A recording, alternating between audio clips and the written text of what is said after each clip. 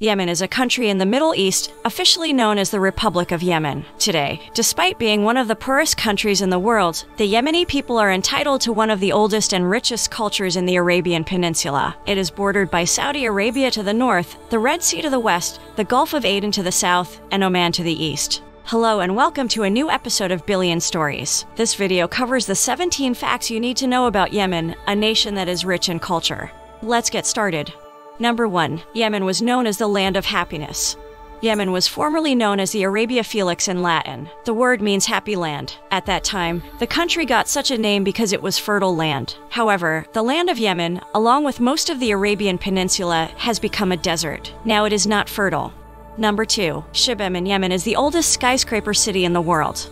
Shibam is an incredibly old city located in the governorate of Hadramaut in central Yemen. These buildings were made of mud bricks in the 16th century. It was declared a World Heritage Site by UNESCO in 1982. The city exhibits early urban planning with vertical construction. For this reason, the city got the nickname Manhattan of the Desert. A wall surrounds the city to protect it. Currently, the city is threatened with loss due to the conflict. Number 3. The dragon blood tree grows on the island of Socotra in Yemen.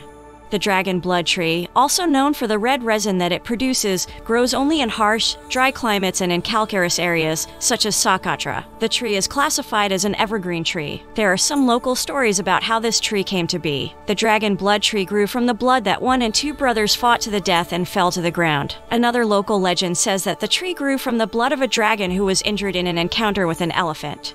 Number 4. Queen Sheba or Balkis lived in Yemen. The Bible tells us that Queen Sheba visited King Solomon. Some say she ruled and lived in Ethiopia, but her country is now Yemen. Archaeological evidence shows that during her lifetime, Ethiopia and Yemen were ruled by the Aksumite Empire. The Aksumite Empire is believed to be based in Yemen. Number 5. Mocha coffee is named after the city of Mocha in Yemen where coffee was first sold. Yemen was the first country to drink coffee dating back to the 15th century. By the next century, coffee had spread to the Middle East. Coffee from Mocha is believed to be more authentic than coffee mixed with chocolate. Mocha is a port city. For 200 years, it monopolized the coffee trade. Number 6. One third of the plants found in Socotra are found nowhere else on Earth. Socotra's climate is favorable for very few plants, animals, and reptiles. This makes the number of wildlife very unique. In 2008, UNESCO declared it a World Heritage Site. In all, there are about 825 plant species on the island, of which only 37% are found in Socotra. The island is home to several endangered species. The island has been marked for extra protection and conservation efforts. Are you enjoying this video? If yes, hit that like button. Number 7. Dar al Hajar is built on a rock. Dar al Hajar is a former royal palace located in Wadi Dihar, about 9.3 miles from Sana'a in Yemen. Known as the Stone House and the Rock Palace, it was built in the 1920s as a summer resting place for Yahya Muhammad Hamid ed-Din, the ruler of Yemen from 1904 to 1948, and still stands on top of the building built in 1786 for the scholar Al-Imam Mansur. The palace was in the hands of the royal family. After Hamid's assassination, the building was converted into a museum. Number 8. The old city of Sana'a has been inhabited for over 2,500 years. For more than 2,500 years, Sana'a has been one of the oldest continuously inhabited cities in the world. Legend has it that the city was founded by Shem, one of Noah's sons. Everything before the Islamic era in Yemen was destroyed and later rebuilt. It was declared a World Heritage Site in 1986. Number 9. Tawakkol Karman, a Yemeni, was awarded the 2011 Nobel Peace Prize. Tawakkol Karman is a human rights activist, politician, and journalist. She was awarded the Nobel Peace Prize for advocating for the rights and security of women through nonviolence. Karman also took part in efforts to bring peace to Yemen. When she was awarded the Nobel Peace Prize in 2011, Karman became the first person from Yemen and the first Arab woman. She has been arrested several times for her activities. Number 10. Yemen was the first country in the Arabian Peninsula to give women the right to vote.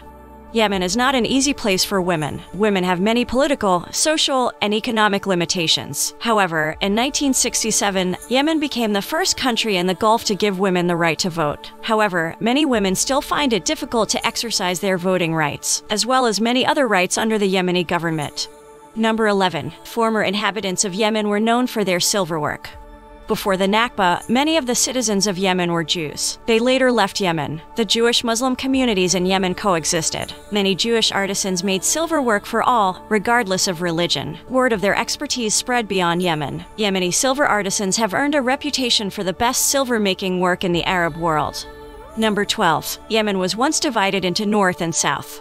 It was ruled by the Ottoman Empire in the north and the British in the south. In 1918, the Ottoman Empire was dissolved and northern Yemen gained independence. In 1967, Britain withdrew from southern Yemen and became the People's Republic of Yemen. In 1969, a communist coup renamed the South the People's Democratic Republic of Yemen. The People's Republic of South Yemen was the first and only Marxist country in the Arab world. Decades of instability and conflict have led to frequent clashes between the two Yemenis and eight years of civil war in northern Yemen from 1962 to 70.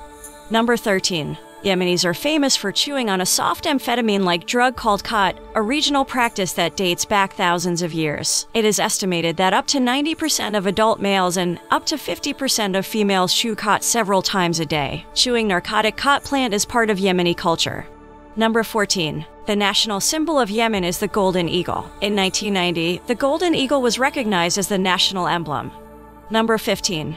According to the International SOS Travel Risk Map 2020, Yemen is one of the 10 most dangerous countries in the world. It is estimated to carry an extreme travel safety risk.